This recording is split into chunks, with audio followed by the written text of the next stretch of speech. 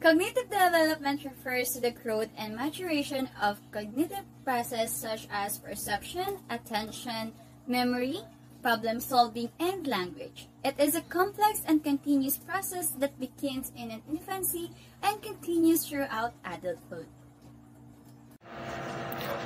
One of the key realizations about cognitive development is that it is influenced by both genetic and environmental factors.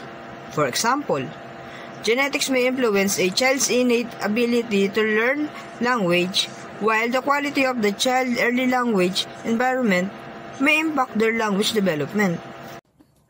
Another realization is that cognitive development occurs in stages. The most well-known theory of cognitive development is Piaget's stages of cognitive development, which posits that children progress through four distinct stages of cognitive development.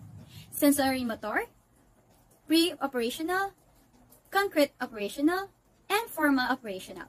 Each stage is characterized by specific cognitive abilities and limitations.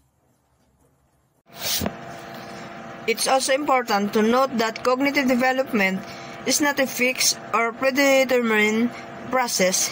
Instead, it is shaped by experience, interactions, and environmental factors.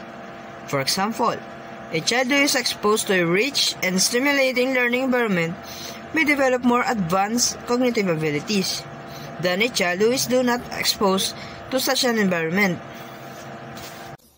Overall, understanding cognitive development can help us better understand how children learn and grow, and how we can support their cognitive development through appropriate environmental experience and opportunities for learning.